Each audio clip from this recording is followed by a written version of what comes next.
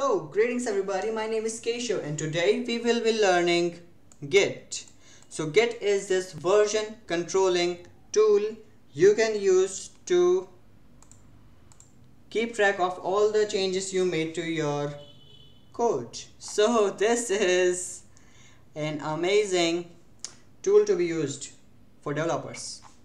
So yeah, and this guy Roger Dudler, which whose link I will be posting in the description, has made an amazing website explaining how you can begin with Git.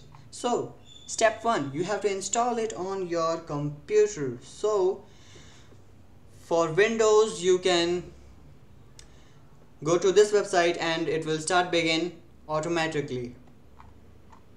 Yeah. So after installing, so after downloading and double clicking on the file it will start installing. You have to install it then you on the bottom left of your windows system you will use command cmd just type it cmd and search it and you will then open. Command prompt hope you are familiar with that. Oh yeah. And then you will be going through this website to learn and to begin with Git. So first step is to initialize a new repository. If you want if you have a folder in your local system and you want to send it to on the github. So yeah first step is to initialize the git so git init put in it. Yeah. And then yeah you can check out a repository which is a fancy term of saying that you are downloading an online repository for local use. So git clone. This is the important command you have to learn in order this is the main requirement of of downloading projects or repository from github. So git clone. And then you have to type the link of the github repository. So yeah. And then the best part of the git is its workflow. How it maintains the version or what changes you make to your files? So this is a workflow. You have to first add all the files in your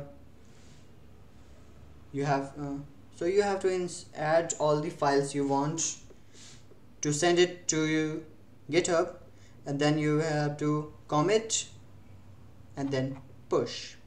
So yeah this is add and commit this way you add the files you want to send and this way this command uses to send all the files. Then the second step is next step is to commit. What changes you have made to command? So to keep track of them. And then the final part is to push. So this after this your local all the files you have on your local folder will be sent over to github. So yeah you know and branching is the main feature of github. So this way if you want to add a new feature without disturbing the old ones or the other ones you can use branching. You know you can